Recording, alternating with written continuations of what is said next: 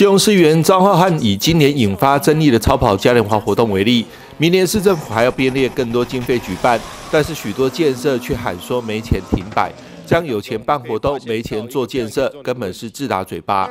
活动委办费跟去年相较之下，新增了超过一亿元，而且这一亿元是散落在啊我们各个局处的一个里面哦。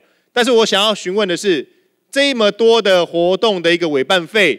真的能为基隆创造出啊更好的一个价值吗？我想过去市长你也曾在啊新闻媒体大肆的宣扬，其实基隆的财政状况并非相当的一个好，包含许多的一个城市预算哦，包含捷运，包含之前提过私人大楼，甚至停车场，还有一些森林运动公园的相关的整整的预算，是否是没有足够的预算来做相关的一个建设？然而这一件事情让我觉得不禁非常的怀疑。难道我们基隆市是有钱办活动，但是没钱做建设吗？市员吴化家也质疑，市民引颈期盼的道伦森林公园，因为市政府喊没钱而终止，现在却要编两千三百万元在海广场设置临时性的摩天轮。明年还要花钱买鸭子船，到底谢国良市长知不知道市民真正要的是什么？大家都知道，今年办的超跑嘉年华，我们还有要办那个双层巴士的那个购买采购案，结果呢，明年还要买鸭子船，明年还有好多活动要办啊！可是今年好多事情在问的时候都说啊，我们的建设经费预算不足够。市长，你有自己看过这些预算吗？你有没有自己看过？有。啊，那你知道我们有这么多的建设是欠缺经费的吗？你一定清楚吗？为什么？因为你光是大五轮森林运动公园，你就告诉我没有这样子的经费预算可以做这件事情。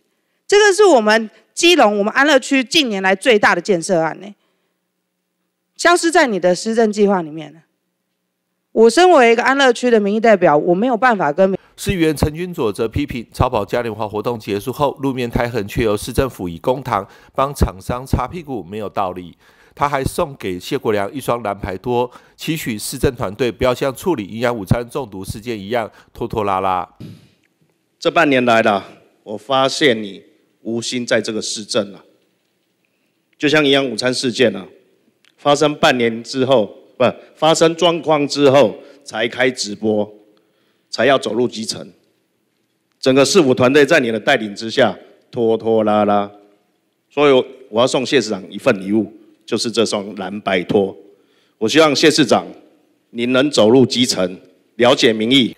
对此，基隆市长谢国良回应表示，规划办理活动就是希望打造基隆成为北台观光城市，相关市政建设也不会因此中断。我们基隆要变成一个重要的。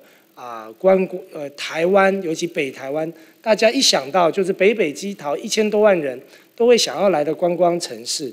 那我想我们就是要来办活动，然后要找出有我们的特色。所以包括明年是侵霸战争一百四十周年，那我们想把这个大家所您过去有关心的超跑嘉年华，我们把它变成电动车产业的一个相关活动，然后改到比较不塞车的西岸。